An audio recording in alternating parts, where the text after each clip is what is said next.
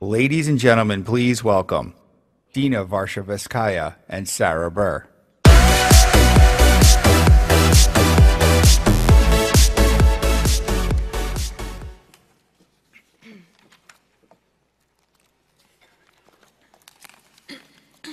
Sorry, just doing a little last minute shopping. Um, I just bought a selfie stick, and it'll be here in a minute. See, it's all about instant gratification for today's consumer. And that's why in 2014, uh, e-commerce apps were actually the fastest growing apps. Exactly. And the following companies did an excellent job of selling e-commerce apps, uh, everything but the kitchen sink this year. Well, actually, I can think of like five sites where I can actually go buy a kitchen sink right now. Oh, thanks.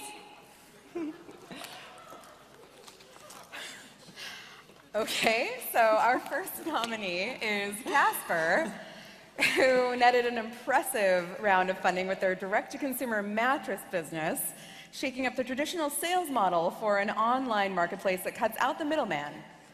Can I say that I find that comforting, or is that too corny? It's perfect. Next, we have the Amazon of India and a global dynamo, Flipkart, who raised over 1 billion in financing in 2014. It's the one-stop shopping destination that's taking over the global marketplace one country and one click at a time. The Honest Company is the next one with a hard work, a sincere mission, and honesty. The Honest Company has become an eco-friendly, non-toxic product juggernaut for families around the globe, reaching a $1 billion valuation in November. They don't look like they're slowing down anytime soon. Then we have Instacart, the same-day grocery delivery company that has reinvented the way consumers shop for groceries. It's been dubbed America's most promising company by Forbes. It's valued at $2 billion, and it can get you a frozen pizza and a six-pack in under an hour.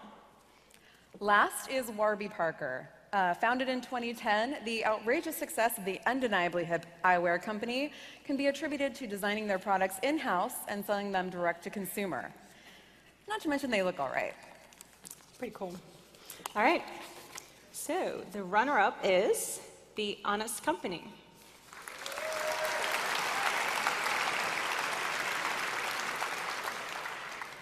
And the crunchies goes to Casper.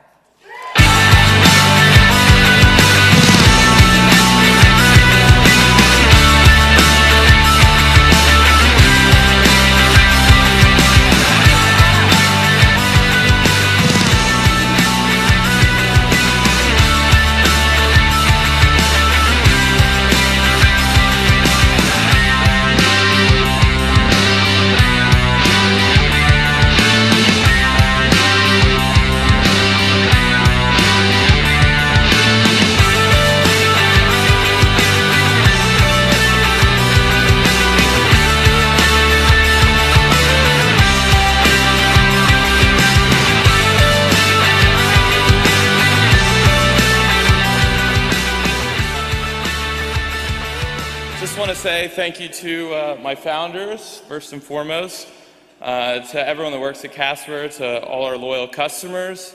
Uh, what an incredible year. We, we launched 10 months ago, and it's just been an unbelievable journey.